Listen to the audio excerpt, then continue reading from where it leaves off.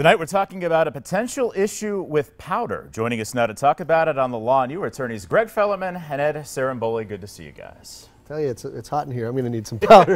yeah, we may have to powder you up uh, after this one because, uh, you know, here's an issue with powder that uh, one person yeah. had, and let's get to it and see what the issue is. Carrie in Lake Ariel says, I used the Johnson & Johnson talc powder for years. I have read a lot about it. I don't have cancer, but have had urinary problems.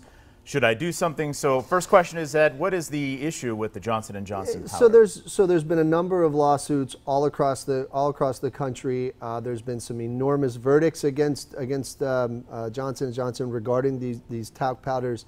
Um, it's hard to say. I mean, you don't have any significant, you don't have, any, you don't have cancer. You don't those. That's kind of the, the, the causation link is that you know people are, are developing uh, you know cancer as a result of the use of the talc. So tough call on, on whether you should um, uh, pursue a case or not. But I would definitely reach out to. I mean, we could certainly you know we've partnered with somebody on these cases, so we can get you the right people. But that, that's a tough one. Uh, it's kind of a coin yeah, toss. and right these now. are these consumer safety cases that are, um, you know, that are rearing their head all the time. And what we always tell people is, if you see a drug or you see a product that may have caused harm and you have used it, you're best. You're, you really need to pick up the phone, get on a, uh, the phone with a firm that handles them.